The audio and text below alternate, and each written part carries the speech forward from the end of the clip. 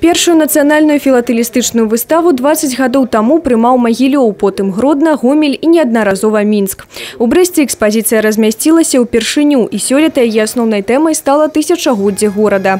У цырымоніі адкрыцця выставы, а таксама спецыяльнага гашэння памятнага паштовага блока і канверта, на якім адлюстраваны помнік тысячагоддзя ўзялі ўдзел старшыня брэскага гарвыканкама Александр Рагачук і міністр сувязі і інфарматызацыі Беларусі Константин Шульган. Город Брест для меня ничего чужой, если вспоминать, что я сам родом с Брестской области. Ну а само по себе, а, безусловно, событие, оно ну, направлено на какое-то продвижение того, что, что мы видим на марках. Это и я остаюсь на этом мнении, что это действительно интеллигентное увлечение, которое воспитывает человека и культуре, и истории. На выставе представлено 146 коллекций марок и конвертов 16 краін – Бразилии, Германии, Израиля, Ирландии, Португалии, США и іншых. Поглядеть на экспозицию можно до 8 вересня.